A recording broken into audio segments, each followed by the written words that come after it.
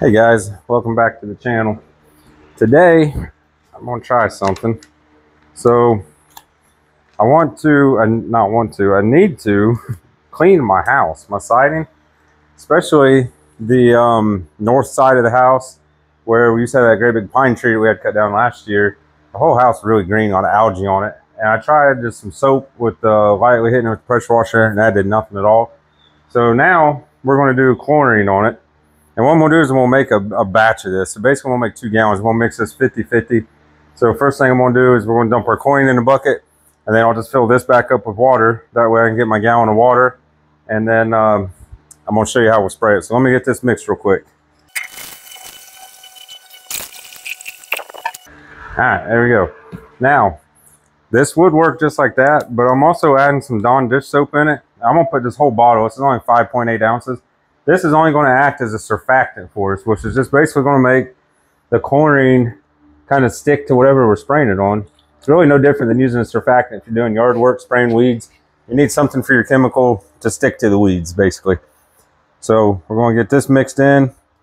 And then uh, I guess I probably stir it up just a little bit. We'll get it stirred up. And then what I'm going to do is take my first um, I know that's two gallons. I got one gallon jug, but I'm going to now transfer a gallon of that into this so I can use it for pouring. So let me get that ready for you. All right, guys, I just took a broom handle and stirred it up a little bit.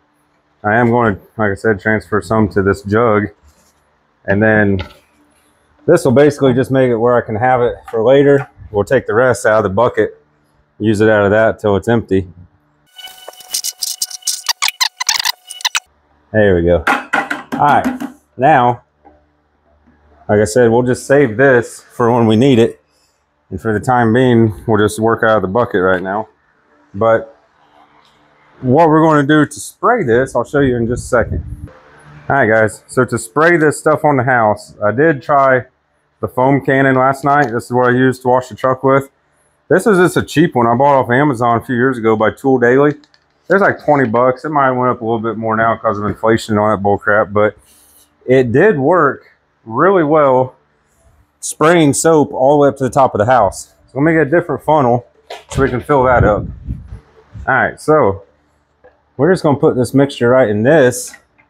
That way we can spray it up on the house. And I don't know how tall the peak of my house is. I can't tell you for sure. You guys will see it here in a minute. But this thing reached just fine, had no issues. So that's what we're gonna use. And with that being said, since I'm putting chlorine in this and I wash my truck with it, this one will be for house use only now in the future. So I'll buy a new one, one of these, just for the cars. And then, like I said, this one will be for the house. So let me get everything carried over to the side of the house where we're going to start. I'm going to show you all how dirty and nasty it is. And uh, we'll get started on this. So see you all out here in the sun in just a minute. All right, guys, we're on the side of the house now. I got everything set up, pressure washer. And as you can see how dirty this house is. And it is all the way up pretty much, but it's really bad. It don't look bad from the road, but it's bad. It needs a good cleaning. So I'm gonna let uh, Miss Emma here film for me and we're gonna start spraying and see what this stuff does.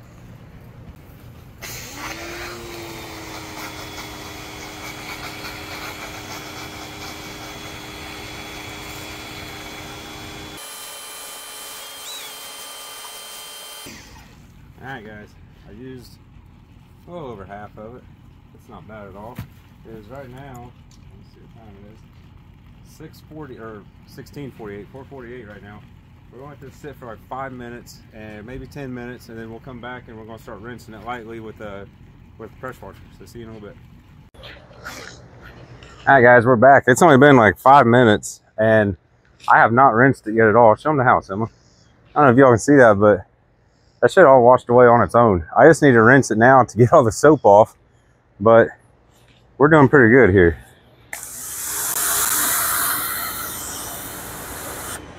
Let me try my other nozzle.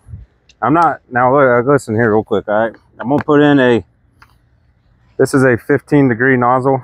I'm not doing this to like, try to hit siding hard. I'm just doing it to rinse the soap off.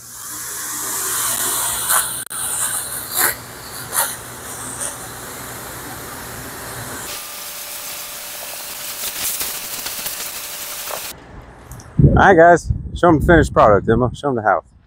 I think it looks a lot better. What do you think, Emma? Yeah.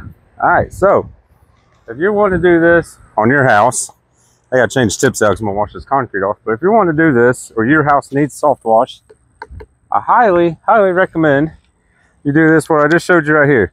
Now, you see on my pressure washer right here, it's got this tank. I can spray soapy water out of it. Clearly says no. I'll tear up the seal stuff in, whatever. But the foam cannon, I'll put it right here. Okay, this is the one I bought. That's the one you just saw. I am getting ready to buy another one now because I can't use that one on my cars. But you can get one of those. The chlorine was six dollars, and for a gallon, and the little 5.8 ounces of Dawn dish soap was 97 cents. So you can literally soft wash your house quite a bit. I didn't even use that whole thing. That well, I don't even know how much that holds 20 ounces maybe, but we made two gallons of this stuff. That's plenty. My whole entire house, which I ain't gonna bore you with it. You saw the dirtiest side. So thanks for watching. Make sure you subscribe, hit that thumbs up button, share with your friends, whatever you gotta do. We'll see y'all.